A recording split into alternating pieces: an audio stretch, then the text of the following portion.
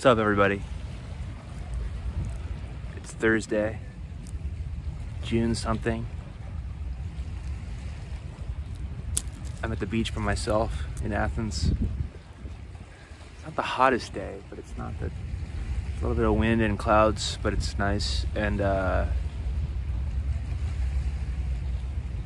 I spent the last few days.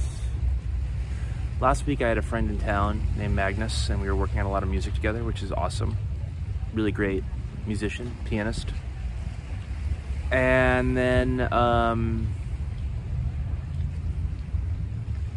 he left on Sunday morning, and uh, I get depleted after I spend like a week with someone, like living in my house.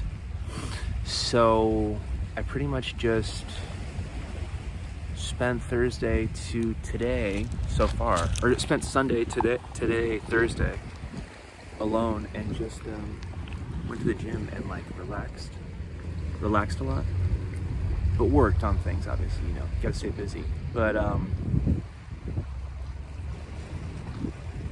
and during that period where I'm spending time by myself, since I'm like a pretty autonomous person, um, I thought like, oh, I want to fly to like Lebanon. I want to like fly here. I want to fly there. But then I was like, wait, no, I should save money and like maybe it's not a good idea to just go on like a random trip.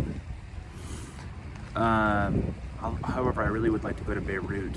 If any of you have been there, give me some tips in the comments, please.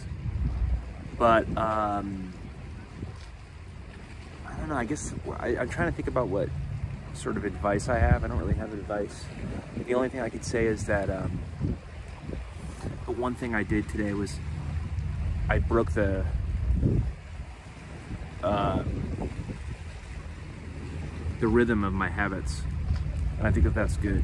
Like I spent too much time like going to the gym and coming home and working and like just like sort of like keeping it really mellow.